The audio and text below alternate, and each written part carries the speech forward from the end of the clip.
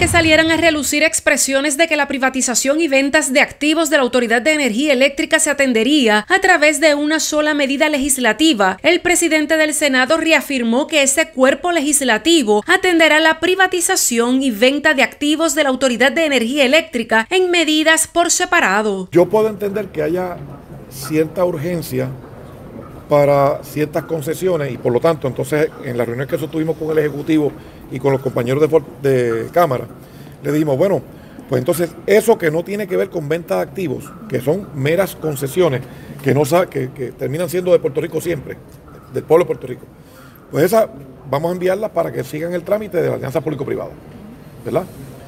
Eh, lo que sea venta de activos, ah, no, eso no, eso tiene que ser con una ley que tenga un marco regulatorio, un marco transaccional, una política pública clara y que venga la Asamblea Legislativa para que tenga la última palabra. Entonces alguna gente te dirá, porque ya he escuchado algo de eso, ah, pero es que tenemos una preocupación antes de que el gobierno federal actúe.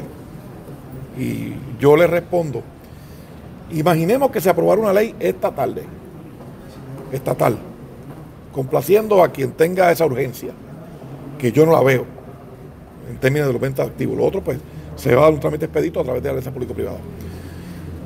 Y si el Congreso aprobara una legislación por encima de la local, no pasaría lo mismo. El líder del Senado aseguró que defenderá los activos porque solo le pertenecen al pueblo y por tal razón evaluará todos los aspectos relacionados al proceso y sin prisa. A través de la alianza público-privada de las concesiones, porque hay unos filtros allí que le garantizan no a mí, no al gobernador, no al presidente de la Cámara, a los puertorriqueños, transparencia total y efectividad en un servicio que es básico y esencial, que es la energía eléctrica.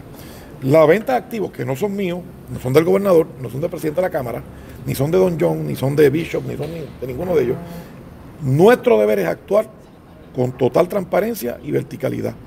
Las cuatro delegaciones que conforman el Senado de Puerto Rico van a participar y nada cambia nuestra postura. Lo que es, eh, lo que requiere un poco de velocidad porque lo podemos entender que vaya a través de la alianza público-privada porque no es venta activo.